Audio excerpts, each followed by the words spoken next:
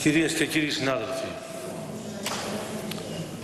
καταρχήν θέλω να εκφράσω τη συμπάθειά μου για όσα υπέστη ο κύριος Κουμουτσάκος, όπως επίσης και όσα παρολίγο να υποστεί ο κύριος Βαρβιτσιώτης που μόλις και διέφυγε από τη μανία των τραμπούκων της ακροδεξιάς πάνω στον χώρο του αγνώστου στρατιώτη.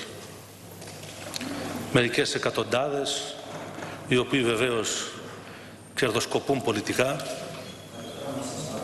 μερικοί οι οποίοι, μερικοί οι οποίοι με τρόπο επαγγελματικό διαχειρίζονται τις μνήμες των ανθρώπων με τρόπο εξοργιστικό, τραμπούκικο, φασιστικό. Θα παρακαλούσα να μην διακόπτετε. Θα παρακαλούσα Κύριε να μην Ζήτη. διακόπτετε. Λίγο σεβασμό, τουλάχιστον σε αυτούς που εδάρισαν. Κύριε Κυριαζίδη, εσείς τουλάχιστον πρέπει να εφαρμόσετε την τάξη, έτσι. Προχωρώ.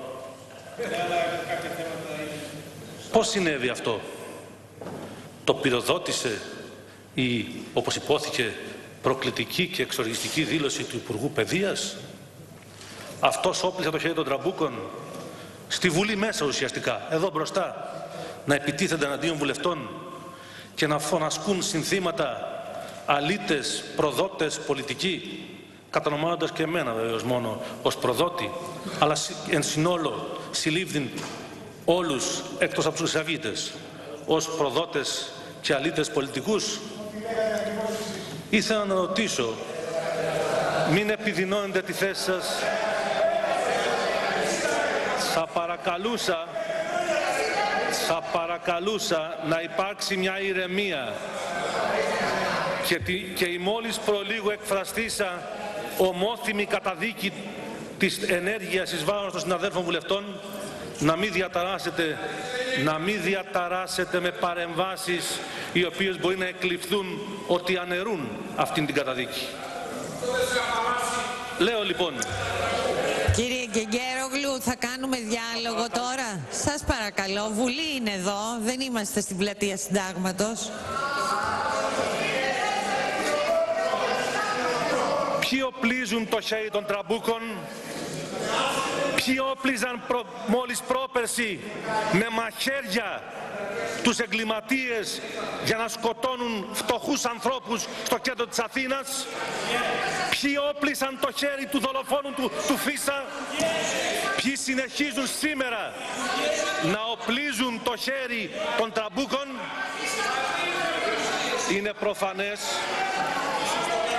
είναι προφανές ότι η δημοκρατία δεν πρέπει να διαιρείται μπροστά στην απειλή του νεοφασισμού, στην απειλή του ρατσισμού, μπροστά στους τραμπούκους οι οποίοι, αν και υπόδικοι, δεν υποχωρούν. Είναι εδώ μπροστά μας και προκαλούν τη δημοκρατία.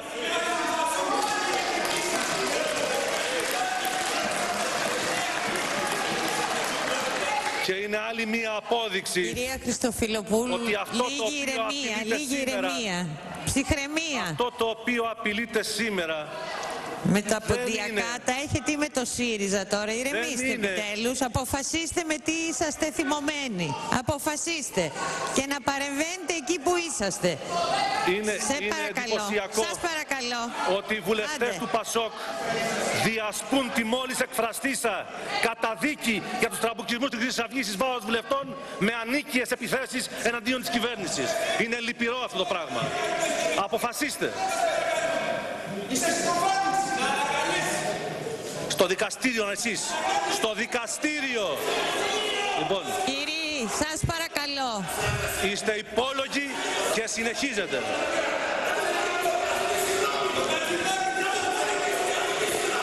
Βο- ο Λοιπόν. Υπου- Εδώ είναι Βουλή και λένε όλοι οι ομιλητές τις απόψεις τους. Κύριε Κασιδιάρη, σας παρακαλώ, καθίστε κάτω.